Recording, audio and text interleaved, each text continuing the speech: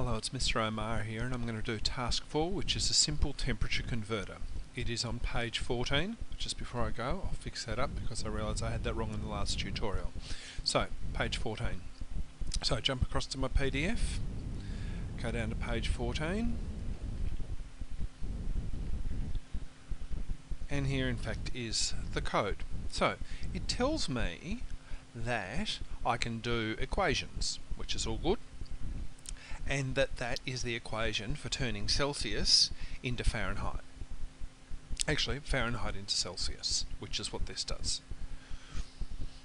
So, we ask for the temperature in Fahrenheit, and we call that FAHR, and then we put this into this equation, and then we the temperature is this in Celsius.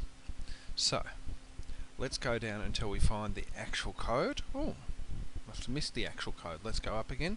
Oh, there it is. So, there's the code, and we're going to pop it into our compiler and run it. And so, here we go. Now, you, I often hear in um, movies and stuff people saying, oh, it's 100 degrees in the United States, which is where they use Fahrenheit. So I'm going to put in 100 degrees, and that's in fact 37.777 repeating. So that's the basic one, and now I'm going to modify it.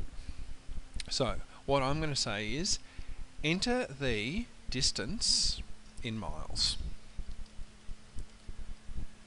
Miles, and I'm going to call that miles, not surprisingly. So, that's done. Now, kilometres, which I'm going to call kilo, equals, now, this is where I need to do a bit of research. So I pop over to the internet and I found a site that lets me convert from one to the other. So I put in 10 miles and it says it's 16.09344 kilometres. So I know that I need to times it by 1.6 and so forth to get 10 to turn into that, which is, so you know, if I made it 100 for instance, it'll be 160. So let's just do that to make sure it's correct. Excellent. So in fact, one mile becomes, so one, so in fact that's what I times it by, is that figure there. So I go back to my program. So a kilo equals that number times, now I actually don't need anything quite so complicated, miles and it. So the distance, so that it's not talking about temperature, distance in kilometres, full colon, plus Celsius. So I'm going to change that to um, kilo, and now I'm going to run it and hope it works.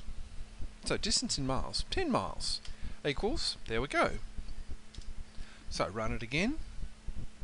Oh, okay, so it's going to be 15 miles down the road, so that's in fact 24.14 kilometres. So there you go. I took the program and I turned it into something of my own, which is what you'll be doing too.